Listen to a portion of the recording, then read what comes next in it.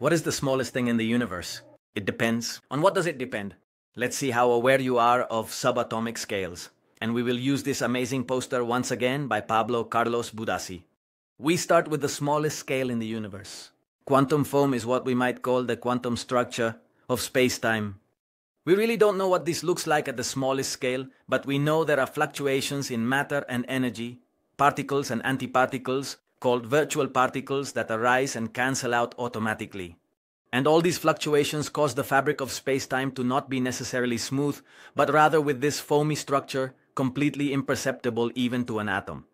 Now from here we have to remember that particles do not exist as a simple dot or a thing, but as a whole summation of probabilities that end up collapsing into a quantum state when measured.